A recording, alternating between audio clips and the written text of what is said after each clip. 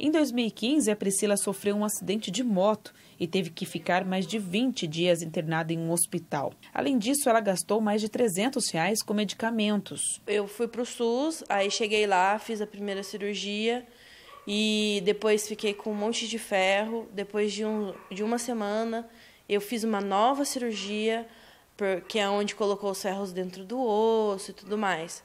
Depois disso, de uns 12 dias, eu tive alta porque o meu tornozelo ele teve ele não não dava para juntar. Então é, eles teve que repensar no que fazer.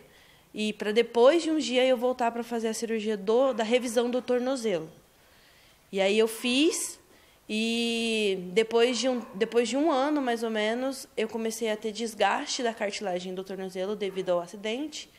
E aí hoje eu fiz a cirurgia de remoção do movimento do tornozelo então eu, hoje eu não tenho mais esse movimento. Por causa do acidente e por ter gasto com os remédios, a Priscila tinha direito ao reembolso desses custos através do seguro DPVAT, mas todo o processo não foi nada fácil. Parece que eles fazem de propósito para você desistir, mas pelo fato de eu, de eu ter tido aguardar a cirurgia do SUS por bastante tempo, é, demorou por isso. Mas se fosse um pouco mais agilizado com certeza levaria uns oito meses, mais ou menos. Mas se for pensar oito meses para sair um seguro de que você tem o direito, é um tempo considerado aí demorado. Assim como a Priscila, outros 4,5 milhões de indenizações foram pagas através do DPVAT para vítimas de acidentes de trânsito no Brasil entre 2009 e 2018. DPVAT é um seguro que todo é, veículo automotor, pro, é, proprietário de veículo automotor, paga para o governo, né? dependendo do valor do seu bem,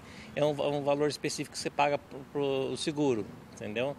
Esse valor ele é arrecadado né, no Brasil todo para quando você sofre algum acidente é, de trânsito com vítima ou não, esse dinheiro é parte desse dinheiro é repassado para pagar esses, esses, danos, né? Atualmente, todos os motoristas brasileiros precisam pagar o DPVAT. A questão é que quando uma pessoa sofre algum acidente de trânsito, por exemplo, ela geralmente é levada para hospitais do SUS e não hospitais particulares. Essas despesas que deveriam ser cobertas através do DPVAT não são e o dinheiro arrecadado fica nos cofres das seguradoras.